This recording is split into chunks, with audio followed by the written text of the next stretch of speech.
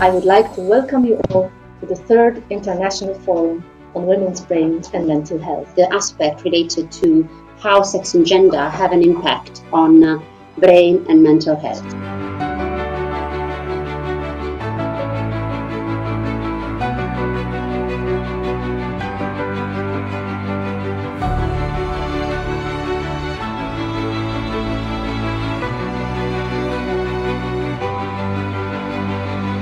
It is my great pleasure to be here with you today. This speech was difficult for me to write. I kindly ask you to clap your hands.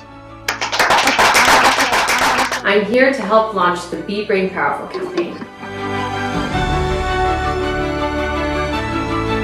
It's reaching tens of thousands of women.